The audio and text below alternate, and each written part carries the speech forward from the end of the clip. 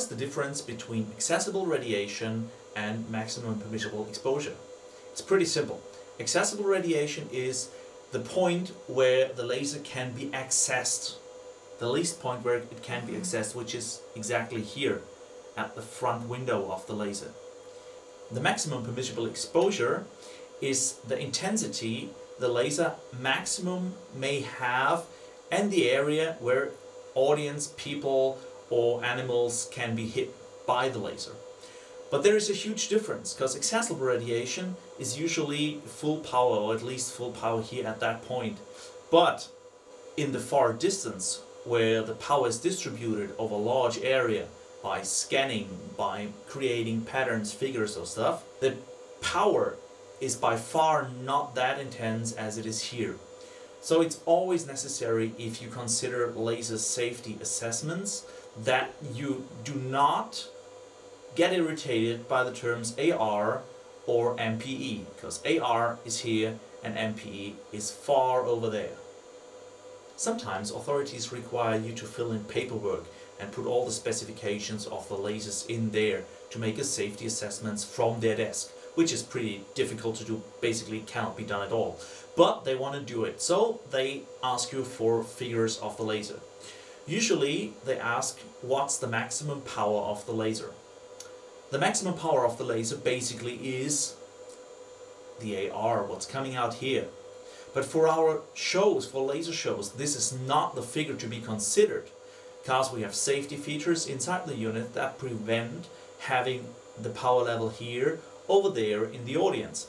So it's always a good idea to, to note that in your application forms, in your paperwork to say, okay, at the unit we have full power. This is the specified power by the manufacturer. But over there in the audience, there's a much reduced power and we consider the regulations and the power in the audience area does not exceed MPE level. Why is there often a misunderstanding with authorities?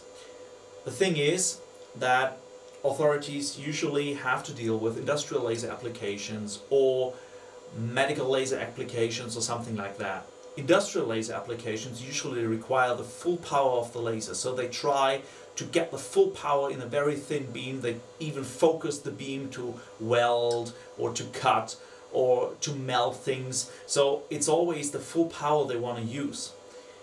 In the show laser industry it's different because we don't use the full power of the laser but we try to make nice effects and thus we distribute the power over a large area. So the, the danger of the laser is much much reduced to an industrial application for example. But the utmost use of lasers basically is industrial or for medical applications. So uh, authorities usually refer to this kind of applications and all the safety assessment is focused on this. So it's often necessary to explain to authorities that our lasers, our show laser applications, all the laser shows are not as dangerous as they think they might be just from the desk. Because the figures they get, it's a laser class 4, let's say 4, 5, 6, 10 watt power oh my god, it's so dangerous. No, it's not, because it's up there 30 meters high, and there's a long distance until it hits the audience, and the beam widens up, the patterns are scanned, and nobody gets the, the, the full power laser in their eyes. So this is the basic difference, and sometimes it, need, it needs explanation. So, it's always important to understand what's the AR, the accessible radiation here, and the MPE power we have over there, in the audience.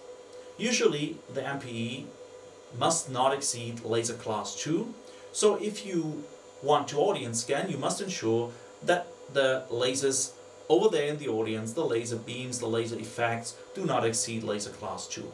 Which is not that of a big problem, because any software in the market supports safety zones or beam attenuation.